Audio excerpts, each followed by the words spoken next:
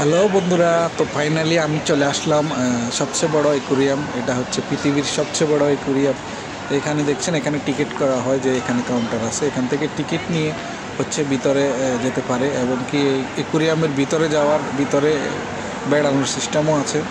আমি সেটা আপনাদের সামনের দিক থেকে দেখাবো। যদিও আমি ভিতরে যেতে পারছি না এই মুহূর্তে।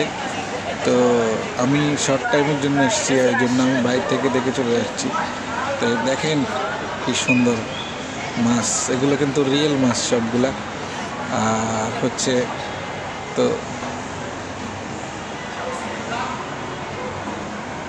তো এটা হচ্ছে পৃথিবীর সবচেয়ে বড় একুরিয়াম আর মাছগুলো দেখেন বড় বড় মাছগুলা। মাছও অনেক বড় বড়, ওই মাছটা দেখেন কত বড়। একুরিয়ামটা যেমন বড়, মাছগুলো দেখেন কত বড় মাছ। আসলে সব মাছ তো চিনি না।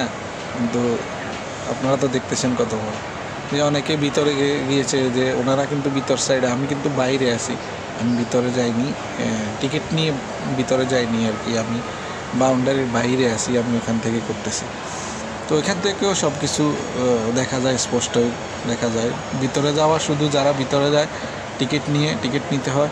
তারা ভিতরে গেলে তারা উপর দিক দিয়ে যেতে পারে। তাছাড়া হচ্ছে তাদেরকে যে অ্যাকোরিয়ামের ভিতরে পানির ভিতরে নিয়ে যায়।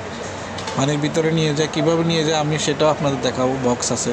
বক্স সিস্টেম করা, ওই বক্সের মধ্যে ঢুকে গ্লাস বক্স ওইটাকে উপর থেকে নামিয়ে দেওয়া হয় পানির ভিতরে।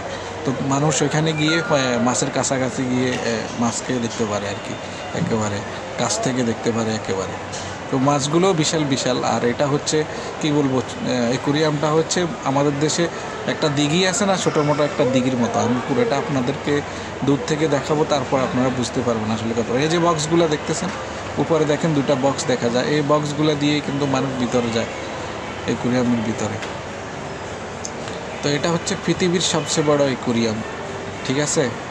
তো ভিতরে আবার দেখেন সমুদ্র তলদেশের কিছু নমুনাও আহ, এখানে বানানো হয়েছে যে সমুদ্র সমুদ্রের তলদেশটা কেমন। ওই ওই ধরনের কিছু প্রতিকৃত নিচে বানানো হয়েছে।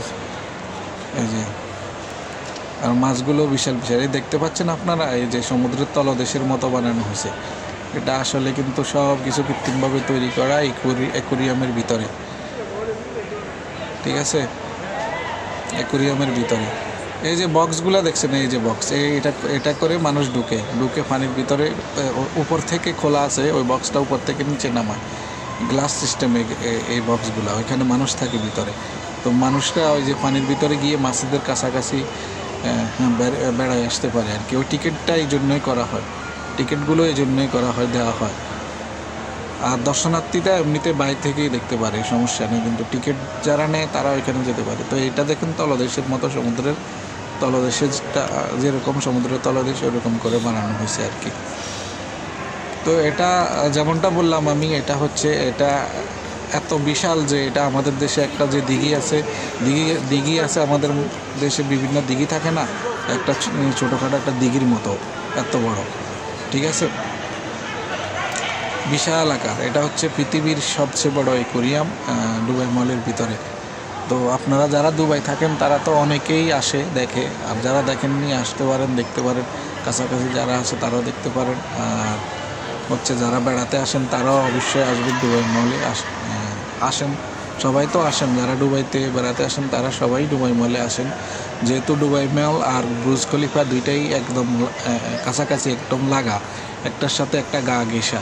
একটা থেকে আরেকটাতে যাওয়া যায় ইজিলি তো এই জন্য যারা দুবাইতে বেড়াতে আসেন, তারা ব্রুজ খলিফা, পাশাপাশি দুবাই মল দুইটাই বেড়াতে পারেন। তো তারা, তাদের উদ্দেশ্য থাকে যে দুবাই আসলে এই দুইটা দেখবে। এই দুইটা দেখবে, যারা বেড়াতে আসেন, ভিজিটে আসেন। আমরা তো সবসময় আসি এখানে। আমরা থেকেও অনেক কিছু দেখি না, আমরা তো কাজে কর্মে থাকি।